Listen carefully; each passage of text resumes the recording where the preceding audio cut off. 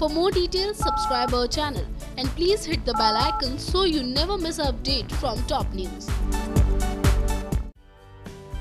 Naagin three की कहानी में बेला और माहिर की कहानी में अब दोनों अलग हो चुके हैं जहाँ माहिर को याद भी नहीं है कि बेला उसकी बीवी है तो वहीं दूसरी ओर सुमित्रा उसे याद दिलाना भी नहीं चाहती है जिसके साथ ही अब बेला जान चुकी है कि उसकी दुश्मन और को नहीं, बल्कि सुमित्रा है।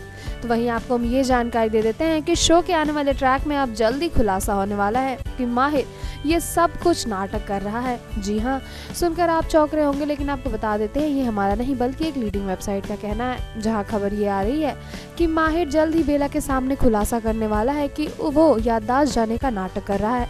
और वो सब कुछ जानता है, जिसके साथ ही पूरी कहानी आपको फिर से बदलती हुई नज़र आ सकती है। आपको याद होगा कि जब यूवी का ट्रैक आया था, तब बेला और माहिर मास्टर प्लान बनाकर बैठे थे। तो ऐसे में ये देखना काफ़ी मज़ेदार होगा कि आखिर इस बार माहिर कौन से मास्टर प्लान के साथ वापस लौटने वाला है। फ़िलहाल कुमार शोरूम बस इतना ही। नागिन थ्री से जुड़ी लेटेस्ट अपडेट्स और अपकमिंग ट्विस्ट को जानने के लिए सब्सक्राइब कीजिए हमारा channel top news just for you. Top news से काजल की report. For more details, subscribe our channel and please hit the bell icon so you never miss an update from top news.